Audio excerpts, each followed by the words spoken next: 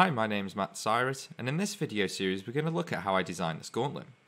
We're going to look at how I took inspiration from the Alien Isolation Tracker as well as the Pip-Boy, how I built it inside of Maya, also how I used Substance Painter uh, to texture, and then finishing it off we're going to look at Marmoset Toolbag um, for the rendering. If you're Patreon supporter, these files will be available for you to download. But without further ado, let's get started. Okay, so let's have a look at this. So this was the gauntlet uh, I designed in the end. Um, the brief was that I needed to make sure that um, it was a gauntlet, it fitted on a character's arm, um, and the idea was that this gauntlet had some kind of power that influenced the game mechanic. Now, um, I thought about doing uh, the Infinity Gauntlet, but everybody everybody does that, uh, and it's kind of already out there at the moment. Um, so I thought about doing something that involved motion sensor and that sort of stuff. So I was looking at like Alien Isolation, um, mainly Alien Isolation actually. To be fair for this, uh, as you can see here, the motion tracker from Alien Isolation, really good design, uh, really nice. Uh, I don't think this. I think this is a fan made one. I think. Um, yeah. But anyway, so I, I was looking at this design uh, having a look at the in-game stuff, uh, other stuff as well. I think this was one that I had to look at, at the most. Uh, but I needed to make it into some kind of gauntlet or to put onto the character's arm. So what I did was I looked at my other other game that I enjoy playing, which is Fallout, and kind of thought about having this kind of like arm piece, which led me to this. So this is what it looks like without any textures on.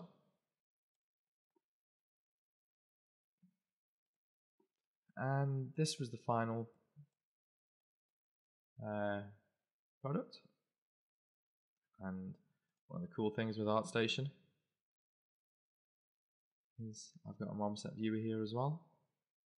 So yeah, this is what I came up with. So I added all like the decals, um, all the information uh, all the panel work as well, which we're going to do not inside of Maya, but we're actually going to do this inside of um, nDo. Um, and yeah, but you could easily do this as a high poly model uh, and then bake it down, especially how I laid out the UVs. Okay, um, and yeah, so um, so to begin with, what I started off with was with this box unit. Now, if we look at the alien isolation, you can see that it's got the screen, it's got the buttons, um, you've got this back bit as well, uh, and then this looks like it's the battery pack. You've got a cable coming from it. So that's what I kind of did. So instead of having it like a big chunk, I did it as a, um, uh, yeah, as two separate side by side. So what I started off with was actually I took this reference here um, and this is just from the Unreal arm. So the Unreal mannequin. Uh, I think I got rid of him. Hope not. Where is he? He's missing an arm now. Uh, but I'll include this in the file. Um, it's just a standard um, Unreal size. Uh, I think he's six foot tall. Uh, mannequin that they use, and I just use him inside. I think it's a him. It's a robot actually. Um, and I just use it inside of Maya to um, use it for scale reference. Uh, like I said, he's a like the robot is six foot tall. He's 185, so we can check that by actually creating a measurement tool. If I just go into here, hit spacebar to get those two views up. Yeah, 183 centimeters.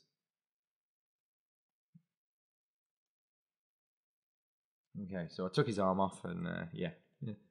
I'll, like I said, uh, if you are a Patreon supporter, you can get these files, and I will include the arm so you can have a go at yourself making your own designs. Um, yeah, so what I started off with I got the arm. Now, one thing I do want to do is when I'm modeling, I don't want to start accidentally selecting stuff. So what I what I can do is make sure this is uh, unselectable. So if we go to layers in the um, channel editors box here. If you can't see it, press A, uh, Control A, and that will uh, bring it up. Go create from layer. I'm just going to call this differently. And call this uh, arm ref. Click save. And if I click here, if I turn this into an R by just clicking on it, I can now no longer select it. I can select everything else, but I can't select this. So it's a good way of having layers, especially if you're working on characters uh, or things that have multiple uh, objects on top of them and you don't obviously combine them. So this is a good way of working. Okay. Well, let's just hide that for a minute. Let's have a look at this. Uh, ignore this. This is really messy. I have got one that's separated actually. I think. Ah, here we go. Okay. So, firstly, what I'm going to do is just going to create a new box.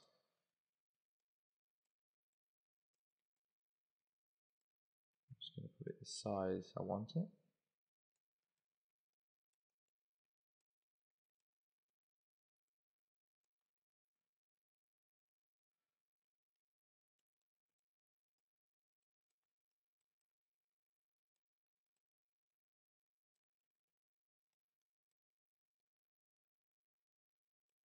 What is up with you? I know why.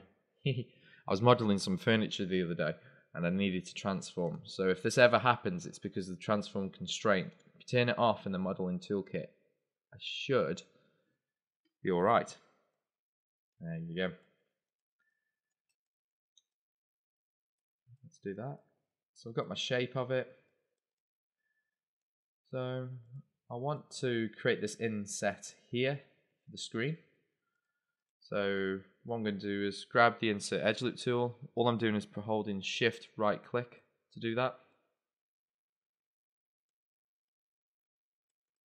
And you know I'm going to do a Blue Peter moment because uh, if I spend, I think this took me two days from concept to build uh, to actually rendered.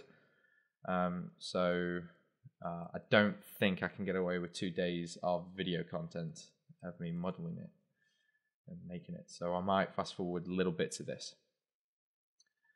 Uh, okay, so I've got my thing. Yeah, that's fine. Maybe let's bring this slightly out a bit. And let's line these up so they're even distance. Now you could draw a plan of this and model from that. Um, I mainly do it by eye, but that's because I've been doing it for a long time, so I kind of do a lot of things by eye. Um, but there's multiple ways of working around this sort of thing. So all I did there was just extrude it, hit G, extrude again,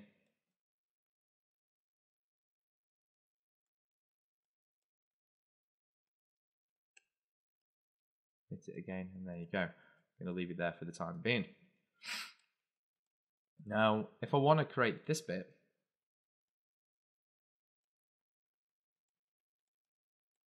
um, I can do. Um, sorry, just I can grab this face, extract it, and then what I'm going to do is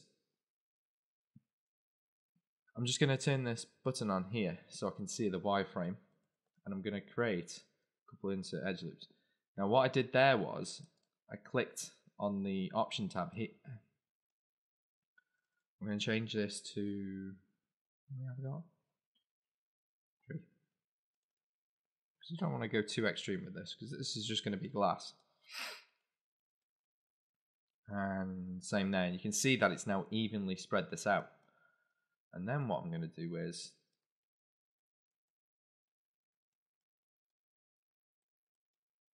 So all I did there was select it and then hold control to deselect the edges I don't want. I'm just going to raise this up a bit so I get a bit more depth to it. Now, one thing I have noticed is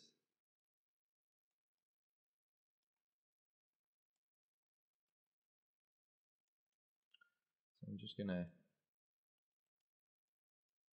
freeze the transformations, center the pivot, delete the history. If you forget how to do that, you can go and watch my series on Introduction to Maya.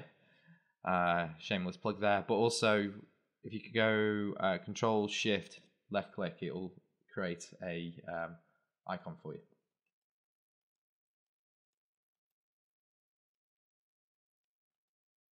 Move that up. And then what I'm going to do is just move this slightly up a bit. And then I'm going to use something called an append polygon tool. Select that edge.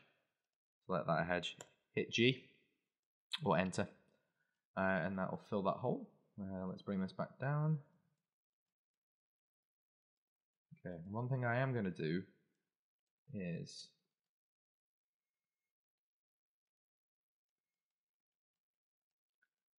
holding V, I'm just going to snap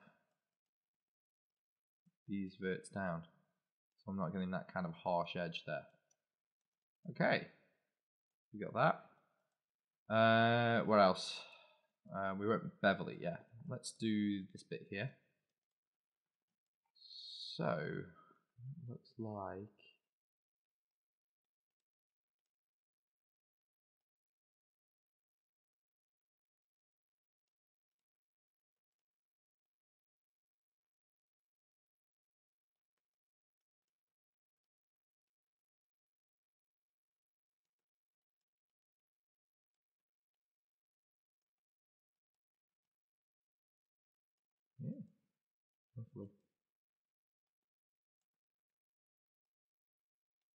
Okay, so we got that.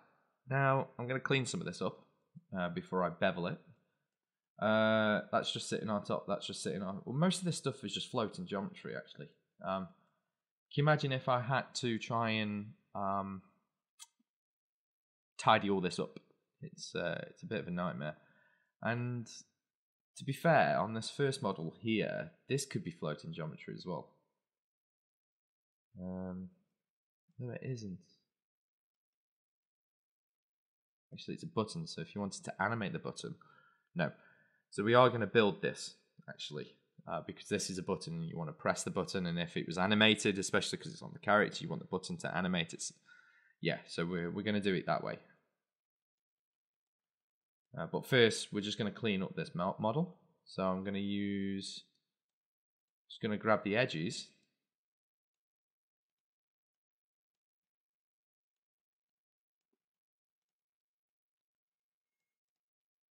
Right, so, and I'm holding V to do this.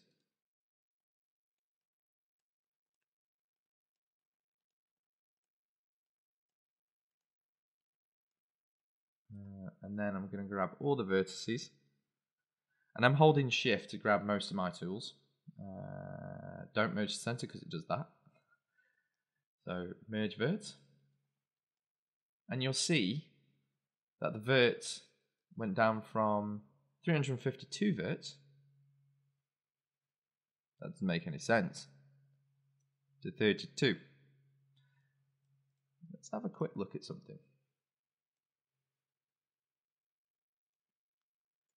There you go. 20 divisions. It's just one. Okay. So ignore what I just did. Because yours will be set to 1. That's why it was weird. There's always something with me that you may have left on. Uh, what I'm going to do is just harden the edges Okay. Now I'm going to build this bit here. Uh, I can't remember how I did it, so let me just have a quick look. Uh, okay, right. So let's grab a new square. I'm just going to go in top view, put wireframe on. So say that's hmm, Uh, say this is the button.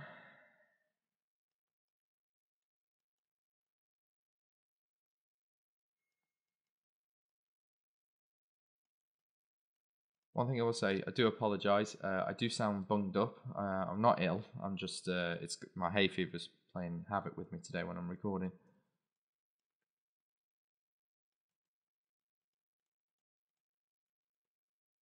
Hate hay fever. Oh, wish it'd go away. Anybody, uh, yeah. Anybody who suffers from hay fever, I feel your pain. Okay.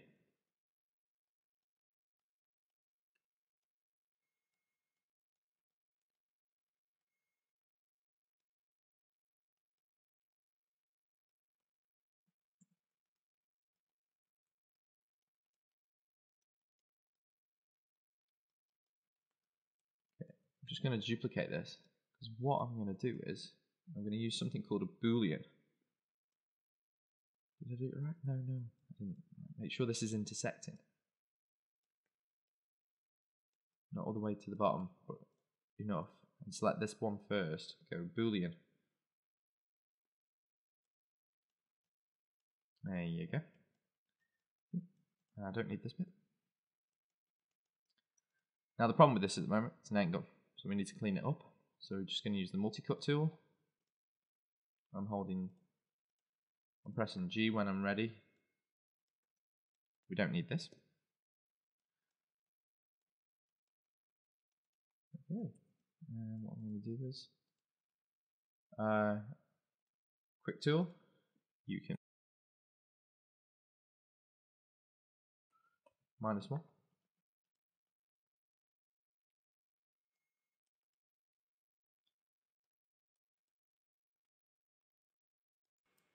I'm holding V to snap that. Uh, I'm just going to do this the same one more time. Okay, and copy the original one and go minus one.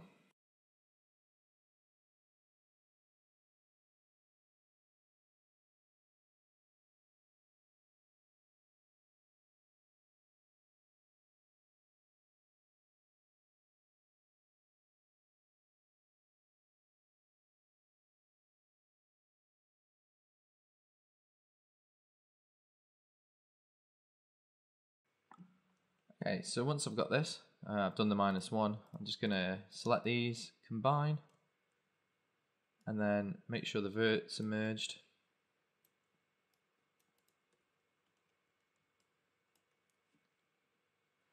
And then I'm just going to move the pivot so it's down here. I'm just going to make it slightly bigger, down a bit. And then what I'm going to do is I'm going to select the edges that I want to bevel. Hit the bevel and turn this down to 0.1. Free center, there you go. Okay. Now, you're asking why didn't I bevel these? Is because I want this bit flush with here. So what I'm going to do is, I'm actually going to delete that. And I'm going to snap that to that vert there. Just go in top view and move this to where I want it. So roughly about there. And then what I'm going to do is I'm going to take, delete these faces.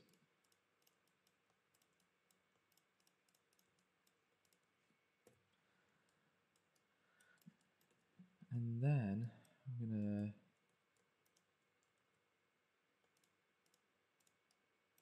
to extrude.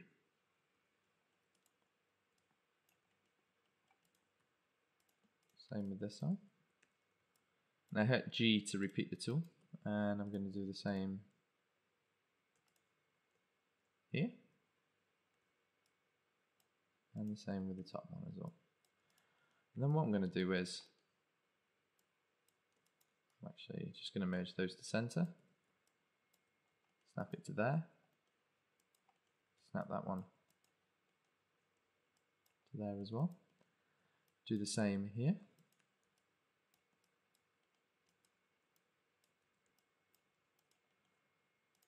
Do the same there. And then snap there to there. Make sure the verts are merged, and then I'm just going to append the polygon here There you go. Now I've got my inlet. Just going to do the same with this. Delete. Bevel. 0.1.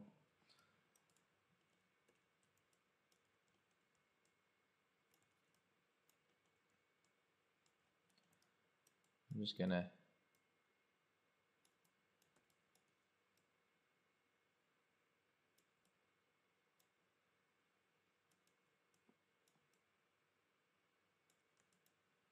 sure I'm not selecting the bits that I don't want. And there you go, I've got my buttons. What I can do is